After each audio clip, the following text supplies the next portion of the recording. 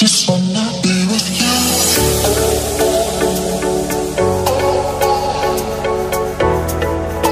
भले ही कितनी अच्छी तुम रच लो बट अगर उसमें एक्टर एक्टिंग ना करे तगड़ा तो वो कहानी कहानी नहीं रहती। यहाँ आता है विक्की कौशल। वो इंसान जो कि अपने एक्टिंग पे सालों से काम करता आ रहा है।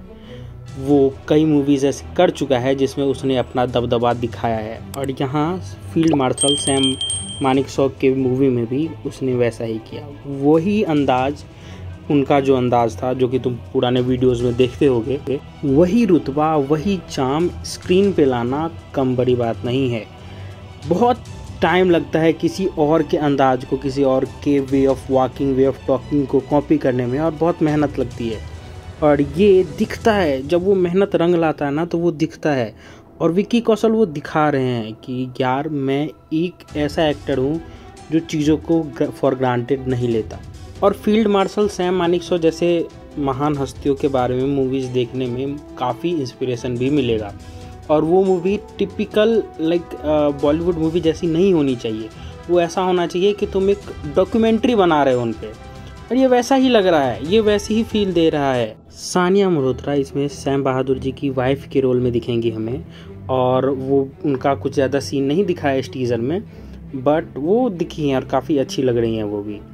हमें पता चलेगा कि एक बहादुर सैनिक अपने देश के लिए कितना कुछ करता है, और फिर भी उसे, अगर तुम सच्चाई जानते हो तो कितना कम मिला है उन्हें। और एक रुतबा था उनका, अगर तुम उनके बारे में पढ़ोगे तो वो रुतबा पता चलेगा तुम्हें। और विकी कौशल का एक्टिंग देख के मुझे वाकई काफ़ी अच्छा लगा इसमें।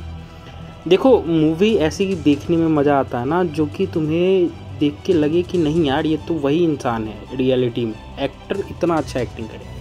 अभी ट्रेलर और मूवी आना बाकी है बट आई होप कि बहुत ही तगड़ा होगा। थोड़ा सा बॉलीवुड का इंटरटेनमेंट डालेंगे ये लोग। अब ये कितना सच है, कितना झूठ है तो वही लोग बता सकते हैं।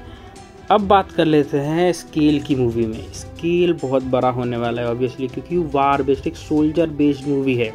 तो वार अगर दिखाया जाएगा तो वो सीन्स एक्सपेंसिव होती हैं। तुमको एक्टर्स कास्ट करने पड़ते हैं, तुमको जगह ढूंढना पड़ता है। इसमें हमें एज इंदिरा गांधी, फातिमा सना सेकरी देखने को मिलेंगी और वो भी काफ़ी ठीक ठाक लगी हैं। इसमें एक डायलॉग है कि सैनिक मरने के लिए नहीं होता, वो लोगों की रक्षा करने के लिए, दुश्मनों को मारने के लिए होता है। और भाई, क्या गजब डायलॉग है। मुझे ये टीजर बहुत बेहतरीन लगा। तुम्हें कैसा लगा तुम कमेंट में ज़रूर बताना। मिलते हैं किसी और मज़ेदार वीडियो में, किसी और मज़ेदार टीजर या ट्रेलर के साथ। तब तक के लिए चैनल को सब्सक्राइब वीडियो को लाइक कर देना। Take care bye bye